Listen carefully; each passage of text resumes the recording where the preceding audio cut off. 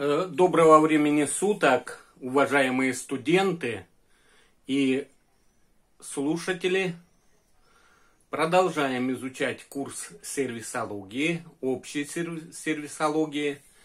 Сегодня мы рассмотрим тему иерархия потребностей или пирамида потребностей Авраама или Абрахама Маслоу, американского психолога, основателя гуманистической психологии – оказавший колоссальное влияние на экономическую теорию, да и на экономическую практику.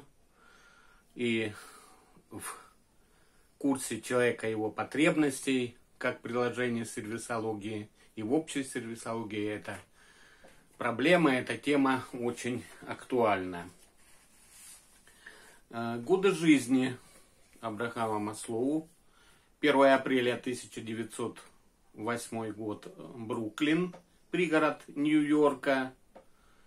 8 июня 1970 года э, курортный городок Менло Парк, Калифорния, Соединенные Штаты Америки. Термин гуманистическая психология был придуман группой американских э, персонологов которые в начале 60-х годов 20 века под руководством Маслоу объединились с целью создания жизнеспособной теоретической альтернативы двух двум наиболее важным психологии течениям – это психоанализу и бихевиоризму. Гуманистическая психология уходит корнями в экзистенциальную философию, особенно философию Мартина Хайдегера, ведь идеи Абрахама Маслоу очень тесно переплетены с философскими положениями антологии Мартина Хайдегера 1889-1976 годы. Это немецкий экзистенциалист, выдающийся всемирной известности философ. Но также оказали на концепции Абрахама Маслоу и гуманистической психологии. Также такие экзистенциалисты, как Сирен Кierкегор 1813-1855, предтеча экзистенциализма, Карл Ясперс 1883-1969 годы жизни и Жан-Поль Сартр, французский экзистенциалист, годы жизни 1905-1980. Психологи Эрик Фром, Алпорт, Роджерс, Франкл, Родла Мэй оказали также влияние на развитие гуманистического подхода к личности. Каковы же основные концепты гуманистической психологии для того, чтобы к теории потребностей перейти, надо, конечно, общие подходы нам зафиксировать. Итак, индивид в гуманистической психологии рассматривается как единое целое. Это один из наиболее фундаментальных тезисов в основе позиции Маслоу. То есть это является то, что каждого человека нужно изучать как единое, уникальное и организованное целое. Изначально, изначально теория Маслоу развивалась как Протест против теорий, не пытавшихся понять человека в целом, особенно против бихевиоризма. В теории Маслоу мотивация влияет на человека в целом.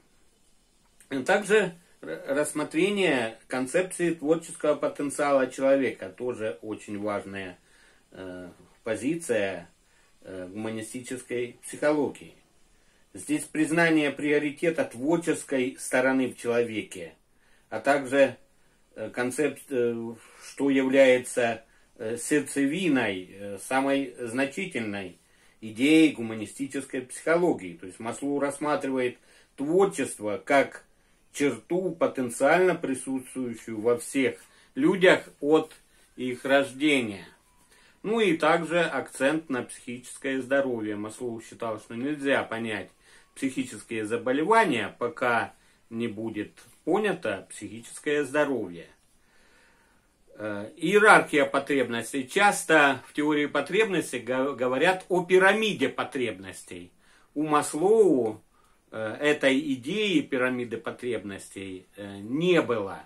Только через пять лет после его смерти его ученики и продолжатели гуманистической психологии ввели в научный оборот этот термин пирамида потребностей и э, выделили первичные и вторичные потребности.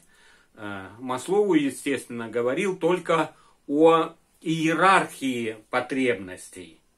Но, к слову, давайте обратимся. В чем же смысл мотивации в теории иерархии потребностей? Вопрос о мотивации является наиболее важным во всей персонологии и психологии а, Абрахама Маслову. Он полагает, что люди мотивированы для поиска личных целей. И именно это делает жизнь личности значительной и осмысленной. То есть человек для Маслоу это желающее существо, имеющее мотивацию, мотивацию на потребности, на их достижения. Он предполагал, что все потребности человека, врожденные, они организованы в иерархическую систему приоритета или доминирования, при том следования иерархии потребностей. То есть нужно последовательно удовлетворить низшие потребности, и только после этого человек переходит к следующему уровню или к следующей ступеньке потребностей. И вначале в самом фундаменте потребностей, то есть первичные в данном случае, вот если мы смотрим на, на нашу пирамиду потребностей, вот здесь мы видим, что в основании вот первый фундамент это физиологические потребности. Более высокий второй уровень надстраивается на это потребности в безопасности и защите. Третий уровень, к которому мы переходим, это потребности в принадлежности и любви. Это, э, по сути дела, э, социальные потребности. Потребность в причастности, в принадлежности и в любви. И, наконец, четвертый уровень – это потребности э, самоуважения, признания и уважения. И, наконец, самый высший уровень, вершина пирамиды, вот, это самовыражение, самоактуализация.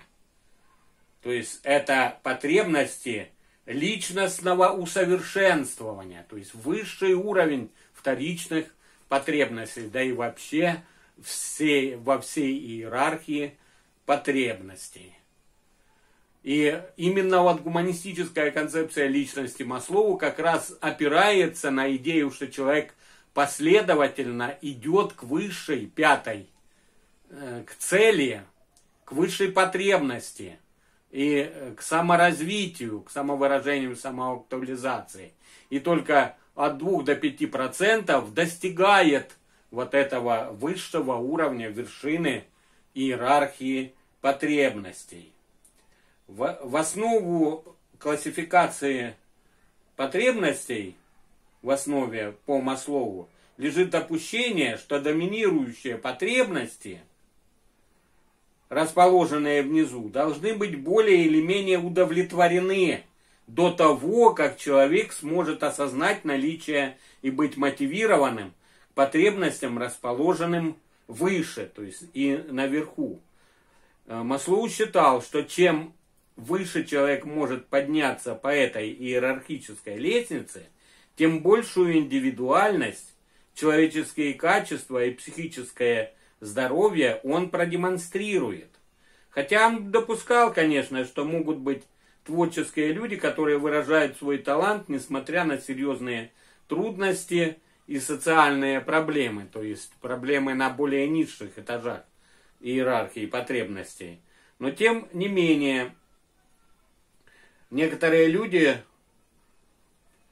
могут создавать собственную иерархию потребностей, так как они могут отдавать предпочтение потребностям уважения, а не любви. То есть их больше интересует престиж, продвижение по службе, а не семья и интимные отношения.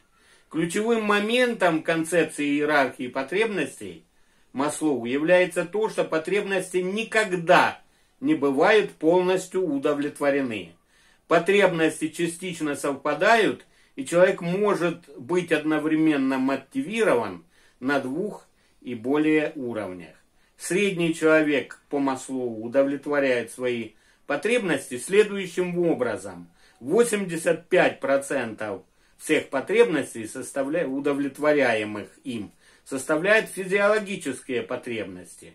70% безопасность, 50% любовь и принадлежность, 40% самоуважение, 10% само, самоактуализация. Это те идеи, вот этот уровень среднего человека, Абрахам Маслоу сформулировал уже незадолго до смерти, в 1970 году. Итак, давайте охарактеризуем э, их последовательно, все эти пять уровней. Итак, физиологические потребности. Это самые основные, сильные и неотложные потребности – они являются существенными для физического выживания. Это потребности в пище, питье, дыхании, сне, физической активности, защите от экстремальных температур, потребности в сенсорной стимуляции. Хронически голодный человек не будет стремиться сочинять музыку или стать президентом страны, и так далее, заниматься политической деятельностью. Второй уровень потребности в безопасности и защите. В эту группу включены потребности в организации, в стабильности, законе, порядке, предсказуемости событий, свободе от таких угрожающих сил, как болезнь, страх, хаос, то есть COVID-19, например.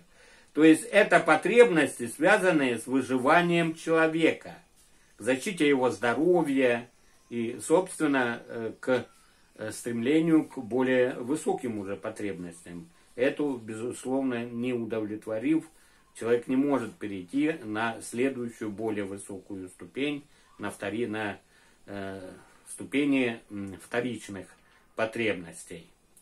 Следующий уровень – социальные потребности, потребности э, принадлежности, э, причастности и любви. На этом уровне люди стремятся устанавливать отношения привязанности с другими в своей семье или группе. Групповая принадлежность становится доминирующей целью для человека. Он будет остро чувствовать муки одиночества, отсутствие дружбы и отверженность. Маслову э, определял два вида э, вот этого уровня социальных потребностей.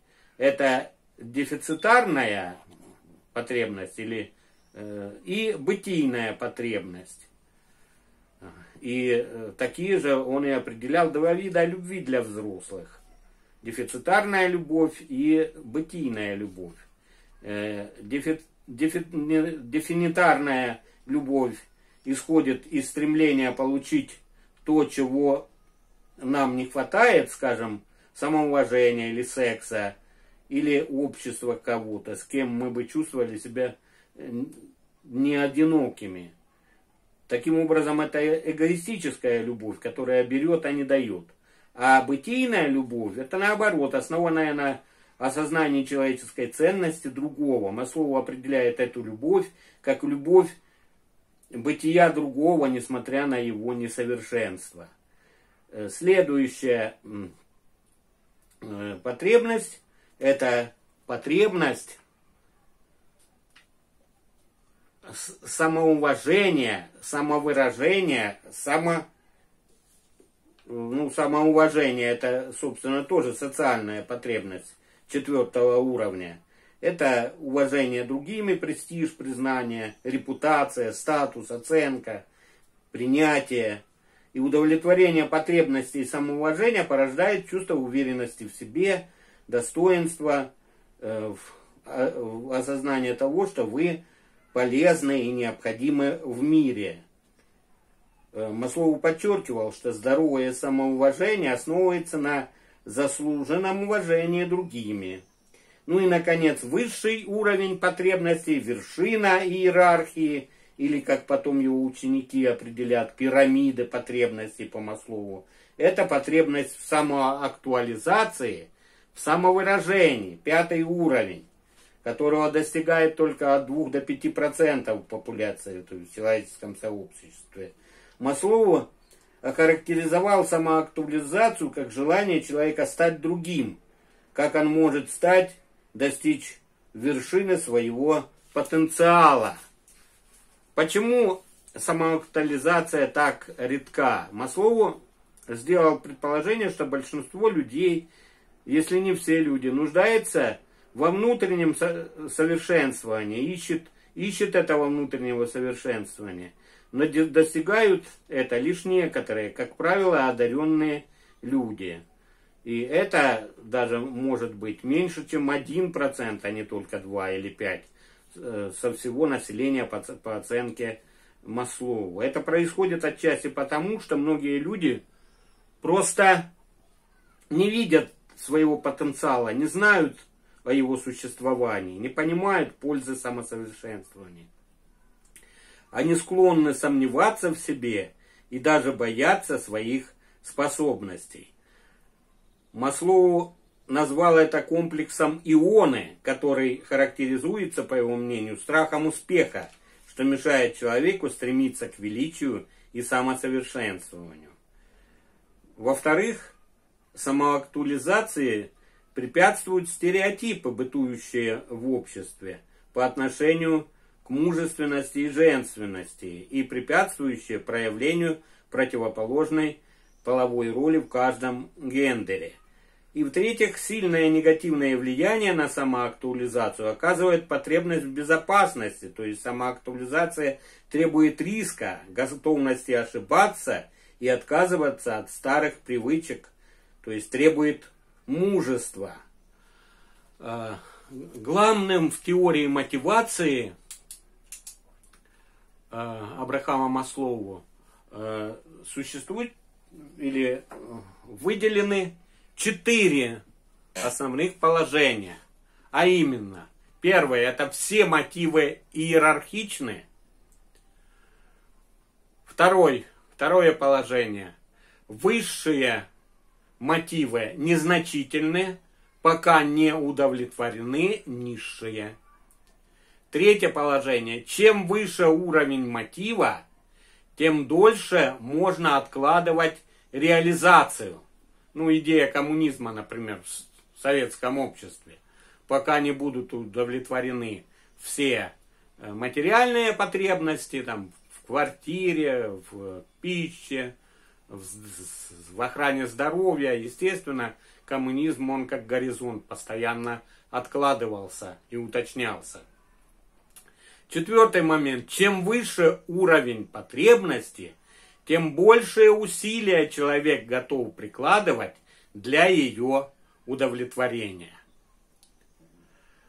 Вот эти четыре момента – это главное в теории мотивации Абрахама Маслову. И они как раз вот и э, очень гармонично э, вклады, накладываются на саму пирамиду или по Маслову иерархию потребностей э, повторим еще раз, что, во-первых, главные моменты, первый главный момент теории мотивации, все мотивы иерархичны.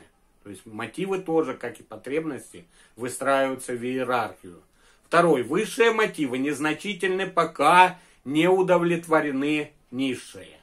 Третье. Чем выше уровень мотива, тем дольше можно откладывать реализацию. Чем выше уровень мотива, тем дольше можно откладывать, откладывать э, на будущее реализацию этого мотива. И четвертое, чем выше уровень потребности, тем большее усилия человек готов прикладывать для ее удовлетворения. Вот. Э, модель иерархии потребностей, концепция иерархии потребностей э, Абрахама Маслоу, она очень актуальна в наши дни. Она нашла широкое применение в экономической теории практически сразу, при, как были опубликованы и введены в научный оборот его идеи гуманистической психологии. Она сверхактуальна в современных теориях мотивации и поведения потребителей. И любые концепции современные мотивации и поведения потребителей, они э, обращаются в обязательном порядке к э, теории, концепции Абрахама Маслоу. Таким образом, рассмотрев взгляд на потребности человека, у Маслову, у других, которые мы ранее исследовали, у Хорни, у ряда Карен Хорни, э, ряда других авторов, мы убеждается в том, что до сих пор нет единой классификации потребностей, и что в основу деления каждый автор кладет различные подходы. Чтобы полнее разобраться в, этом, в этой проблеме, необходимо проследить подходы лежащие в основе подразделения потребностей на категории, проследить соответствующие этим подходам классификации. Что нам необходимо далее с вами определить, повторить. Итак, пирамида потребностей включает, повторяем, по концепции иерархии потребностей э, Маслову. Пирамида потребностей, она имеет два уровня, первичные потребности и вторичные. В первичном э, первый и второй уровни это физиологические потребности и потребности безопасности. Третий уровень это социальные потребности, потребности причастности и принадлежности, э, признание и уважение, э, четвертый уровень. И, наконец, пятый уровень самовыражение и самоактуализация актуализация. И мера убывания как раз и характеризует вот этот уровень, мера убывания.